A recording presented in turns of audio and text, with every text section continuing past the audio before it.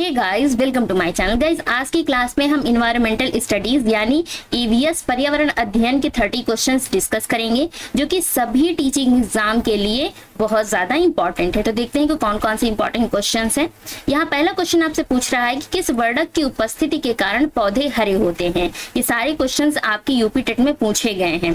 तो यहाँ आपके पास ऑप्शन है एंथोसाइन एन कैरिटीनायड लाइकोपिन या क्लोरोफिल तो आपको राइट ऑप्शन कमेंट करके बताना है कि यहाँ राइट ऑप्शन कौन सा हो जाएगा? डी ऑप्शन करेक्ट हो जाएगा कि जो क्लोरोफिल होता है, उसकी उपस्थिति के कारण पौधे क्या होते हैं? हरे होते हैं। तो डी ऑप्शन एकदम करेक्ट है। नेक्स्ट क्वेश्चन देखते हैं। इसे पूछ रहा है कि मानवीय गतिविधियों जो पृथ्वी पर जलवायु परिवर्तन के लिए जिम्मेदार है, वो कौन सी है? एरोसोल कैन का उपयोग, वनों को जलाना, कृषि क्रियाकलाप या उपयुक्त सभी। तो यहाँ राइट ऑप्शन क्या हो जाएगा? ये सभी सही हो जाएँगे कि जो मनुष्य द्वारा ये सभी एक्टिविटीज़ की जाती हैं, ये पृथ्वी पर जलवायु परिवर्तन के लिए क्या है? रिस्पॉन्सिबल है। तो यहाँ आपका डी ऑप्शन करेक्ट है। नेक्स्ट क्वेश्चन देखते हैं। नेक्स्ट क्वेश्चन में पूछ रहा है कि यू फार बी एस ऐसी फैमिली की कौन सी फ़सल बायोडीजल उत्पन्न करने के लिए जानी जाती है? यानी यू फार बीएससी फैमिली की कौन सी फ़सल बायोडीजल उत्पन्न करने के लिए जानी जाती है? ऑप्शन है आपके पास कॉपर लीफ जेट्रोफा कैडलटन ट्री या सर्प गंधा। तो यहाँ आपको राइट ऑप्शन बताना है कि राइट ऑप्शन क्या हो जाएगा? यहाँ आपका बी ऑप्शन करेक्ट हो जाएगा कि जो आपका जेट्रोफा है, वो यू फार बी फैमिली की एक फ़सल है जो बायो बायोडीजल उत्पन्न करने के लिए क्या जानी जाती है। तो यहाँ आपका बी ऑप्शन करेक्ट हो जाएगा। नेक्स्ट क्वेश्चन में पूछ रहा है कि जड़ी बूटियों की रानी भारत की सबसे पवित्र जड़ी बूटी है। इस औषधीय पौधे का हिंदू धर्म में महत्व है और इसका वानस्पतिक नाम जो है वो है ओसिसम सैंक्टम तो इसको सामान्यतः लोग किस नाम से जानते हैं? ऑप्शन आपके पास अजवायन के फूल, तुलसी, रोजमेरी या धनिया। तो यहाँ आपका राइट ऑप्शन क्या हो जाएगा?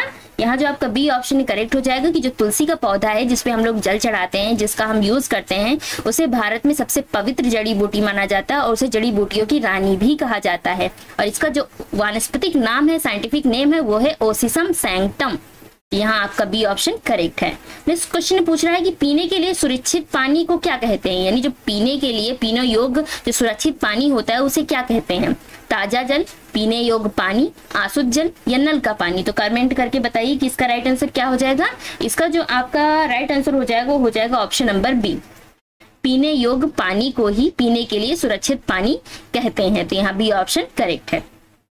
फिर आपसे पूछ रहा है कि वर्ष उन्नीस की जो भोपाल गैस त्रासदी हुई थी, वो इन, इनमें से किस गैस के रिसाव के कारण हुई थी? हमें पता है कि जो भोपाल गैस त्रासदी हुई थी उन्नीस में, वो गैस के रिसाव के कारण हुई थी। तो वही आपसे पूछ रहा है कि किस गैस के रिसाव के कारण हुई थी? ऑप्शन आपके पास methane, methyl isocyanate, nitrous oxide या कार्बन मोनोऑक्साइड। तो राइट ऑप्शन बताइए, इसका राइट ऑप्शन क्या हो जाएगा?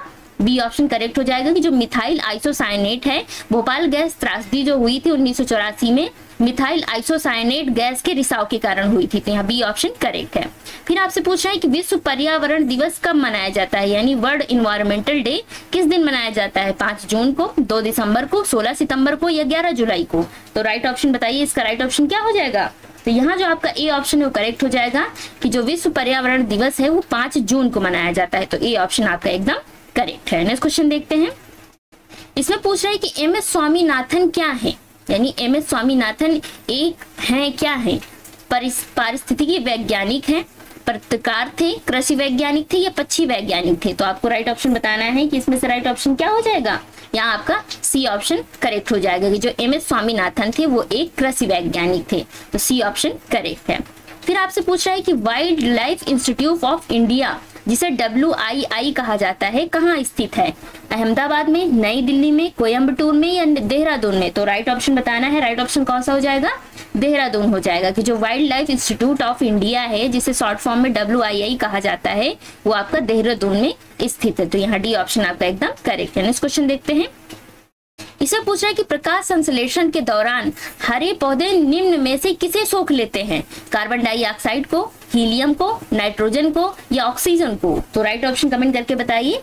यहाँ जो आपका राइट ऑप्शन हो जाएगा, वो ऑप्शन नंबर ए सही हो जाएगा कि जो फोटोसेंथेसिस की क्रिया होती है, प्रकाश संश्लेषण, तब हरे पौधे कार्बन डाइऑक्साइड को क्या करते हैं? सोख लेते हैं। तो यहाँ ए ऑप्शन एकदम करेक्ट है। नेक्स्ट क्वेश्चन देखते हैं। इस क्वेश्चन पूछ रहा है कि अपशिष्ट उत्पादों को खाने वाले जीवों को क्या कहा जाता है? साग भच्छी मृतक भच्छी मांस भच्छी या रसायन भच्छी तो राइट ऑप्शन बताइए, इसका राइट ऑप्शन क्या है? यहाँ आपका बी ऑप्शन करेक्ट हो जाएगा। सॉरी जो अपशिष्ट उत्पादों को खाने वाले जीव होते हैं, उन्हें हम कहते हैं मृतक भच्छी तो यहाँ आपका बी ऑप्शन एकदम करेक्ट है। फिर आपसे पूछ रहा है कि तप्त भौम जल से किस प्रकार की ऊर्जा प्राप्त होती है? भूतापीय ऊर्जा, जल विद्युत ऊर्जा सौर ऊर्जा या नाभिकीय ऊर्जा? तो राइट ऑप्शन बताइए, इसका राइट ऑप्शन क्या हो जाएगा? ए ऑप्शन आपका करेक्ट हो जाएगा, कि तप्त भौम जल होता है, उसमें से भूतापीय ऊर्जा हमें प्राप्त होती है। तो ये ऑप्शन आपका एकदम करेक्ट है। नेक्स्ट क्वेश्चन देखते हैं। इसे पूछ रहा है कि 16 घास स्थल कहाँ पाए जाते हैं? हिमालय में, पश्चिमी घाट में, पूर्वी घाट में या विंध्याचल में? तो यहाँ राइट ऑप्शन कौन सा हो जाएगा आपका? यहाँ जो आपका बी ऑप्शन वो करेक्ट हो जाएगा कि जो 16 घास स्थल है, वो आपके पश्चिमी घाट में पाए जाते हैं। नेक्स्ट क्वेश्चन देखते हैं। पूछ रहा है कि भारत में पेलिकन पक्षी कहाँ प्रजनन करते हैं? कोक कार्य बेलूर में, नेलापट्टू में, कुंथनकुलम में या ये सभी? यानी ये सभी ऑप्शन सही हो जाएँगे। तो यहाँ आपका डी ऑप्शन करेक्ट हो जाएगा कि जो पेलिकन पक्षी होते हैं, पेलिकन पक्षी, वो इन सभी जगहों पे प्रजनन करते हैं। तो यहाँ डी ऑप्शन एकदम करेक्ट है। फिर आपसे पूछा रहा है पूछ रहा है कि मीना माता जो रोग होता है, वो ऐसी मछली खाने से होता है जिसमें अधिक मात्रा में पाया जाता है क्या? कैडमियम, आर्सेनिक पारा या ये सभी? तो यहाँ राइट ऑप्शन आपको बताना है, कौन सा सही हो जाएगा? सी ऑप्शन सही हो जाएगा। यानी जो मीना माता रोग होता है, अगर आप ऐसी मछली खा लेते हैं जिसमें पारा अधिक मात्रा में पाया जाता है तो आपको मीना माता रोग हो जाएगा। तो यहाँ सी ऑप्शन एकदम करेक्ट हो जाएगा। नेक्स्ट क्वेश्चन देखते हैं। नेक्स्ट क्वेश्चन पूछ रहा है कि ओजोन परत का अधिकतम ह्रास निम्न में से किस पर हुआ है? भूमध्य रेखा में, उत्तरी ध्रुव में, दक्षिणी ध्रुव में या इनमें से कोई भी नहीं? तो यहाँ जो आपका राइट ऑप्शन हो जाएगा, वो सी ऑप्शन हो जाएगा कि जो ओजोन लेयर का अधिकतम हास हुआ है, यानी अधिकतम जो क्षति हुई है, वो दक्षिणी ध्रुव पर हुई है। तो यहाँ सी ऑप्शन एकदम करेक्ट है। फिर आपसे पूछा है कि भारत, कौन भारत का प्रमुख मुख्य न्यायाधीश था? हीरा लाल जेकानिया एम पतंजलि शास्त्री, मेहर चंद महाजन या एस आर दास। तो राइट ऑप्शन आपको बताना है कि इसमें से राइट ऑप्शन क्या हो जाएगा? ये ऑप्शन करेक्ट हो जाएगा कि जो हीरा लाल जे कानिया थे, वो भारत के प्रमुख मुख्य न्यायाधीश थे। तो यहाँ ए ऑप्शन एकदम करेक्ट है। नेक्स्ट क्वेश्चन देखते हैं। से पूछ रहा है कि रेड डाटा बुक किससे रिलेटेड है? विलुप्त के करीब जीव के, नदियों के प्रदूषण से रिलेटेड है, घटता भूगर्भ जल स्तर से रिलेटेड है या वायु प्रदूषण से रिलेटेड है? तो राइट ऑप्शन बताइए, इसमें क्या सही हो जाएगा? ए ऑप्शन सही हो जाएगा कि जो रेड डाटा बुक है, वो किससे रिलेटेड है? विलुप्त के करीब जीव, यानी जो जीव विलुप्त होने वाले हैं, उनसे रिलेटेड है। तो यहाँ ए ऑप्शन करेक्ट हो जाएगा। फिर आपसे पूछ रहा है कि कौन वर्तमान राष्ट्रीय महिला आयोग की अध्यक्ष है? मालिनी भट्टाचार्य गिरिजा व्यास रेखा शर्मा या यास्मीन अबरार। तो ये आपका 2019 का क्वेश्चन पेपर है। तो इस क्वेश्चन के बिहाफ पे आपका कौन सा सही हो जाएगा? सी ऑप्शन सही हो जाएगा। कि 2019 में जो राष्ट्रीय महिला आयोग की अध्यक्ष थी, वो कौन थी? रेखा शर्मा थी। तो यहाँ सी ऑप्शन करेक्ट है इस क्वेश्चन के बिहाफ पे। नेक्स्ट क्वेश्चन देखते हैं। फिर पूछ रहा है कि लोकसभा और राज्यसभा की संयुक्त बैठक किसके द्वारा आहूत होती है? यानी लोकसभा और राज्यसभा की जो संयुक्त बैठक बुलाई जाती है, वो किसके द्वारा बुलाई जाती है? संसद के द्वारा, राष्ट्रपति के द्वारा लोकसभा के अध्यक्ष द्वारा या राज्यसभा के सभापति द्वारा। तो राइट ऑप्शन बताइए। यहाँ आपका बी ऑप्शन सही हो जाएगा कि लोकसभा और राज्यसभा की जो संयुक्त बैठक होती है, वो राष्ट्रपति द्वारा आहूत की जाती है। तो ये बी ऑप्शन एकदम करेक्ट है। नेक्स्ट क्वेश्चन देखते हैं। इसे पूछ रहा है कि संविधान के किस भाग में पंचायती राज व्यवस्था संबंधी प्रावधान दिए गए हैं? अनुच्छेद थर्ड में संविधान भाग चार में, भाग छह में या भाग सॉरी भाग ये आपका कौन सा हो जाएगा? ये आपका चार हो जाएगा। सॉरी, नौ हो जाएगा ये, नौ हो जाएगा, ये आपका चार हो जाएगा। यानी तीसरे में, नौवे में, छठे में, या चौथे में तो यहाँ राइट ऑप्शन कौन सा हो जाएगा? यहाँ आपका बी ऑप्शन सही हो जाएगा कि जो संविधान का नौवा भाग है, उसमें पंचायती राज व्यवस्था संबंधी प्रावधान दिए गए हैं। नेक्स्ट क्वेश्चन देखते हैं। चौहत्तरवे संविधान संशोधन का संबंध है किससे? राष्ट्रपति की शक्तियों से, ग्रामीण स्थानीय स्वशासन से, शहरी स्थानीय स्वशासन से या संसद की शक्तियों से? यहाँ राइट ऑप्शन आपका कौन सा सही हो जाएगा? सी ऑप्शन सही हो जाएगा। कि जो चौहत्तरवा संविधान संशोधन था, उसमें शहरी स्थानीय स्वशासन से रिलेटेड था। यानी चौहत्तर जो चौहत्तरवा संविधान संशोधन था, किससे रिलेटेड था? शहरी स्थानीय सुशासन से। तो सी ऑप्शन एकदम करेक्ट है। नेक्स्ट क्वेश्चन देखते हैं। इसमें पूछ रहा है कि किस गैस के वर्षा के पानी में घुलने में वर्षा का पानी अम्लीय हो जाता है? यानी कौन सी ऐसी गैस है जो वर्षा के पानी में जब घुल जाती है तो वर्षा का पानी क्या हो जाता है? एसिडिक होता, हो जाता है, अम्लीय हो जाता है। ऑप्शन आपके पास carbon dioxide hydrogen peroxide, nitrogen monoxide, sulphur dioxide. तो यहाँ डी ऑप्शन कौन सा सही ऑप्शन हो जाएगा? तो यहाँ आपका डी ऑप्शन सही हो जाएगा कि जब वर्षा होती है तो वायुमंडल में कई सारी गैसें पाई जाती हैं। तो वर्षा के पानी में सल्फ़र डाइऑक्साइड घुल जाती है, जिसकी वजह से जो हर वर्षा का पानी आता है, जो नीचे बूंदे आती हैं, वो क्या हो जाती हैं? एसिडिक हो जाती हैं, अम्लीय हो जाती हैं। तो यहाँ डी ऑप्शन एकदम करेक्ट है। नेक्स्ट क्वेश्चन देखते हैं।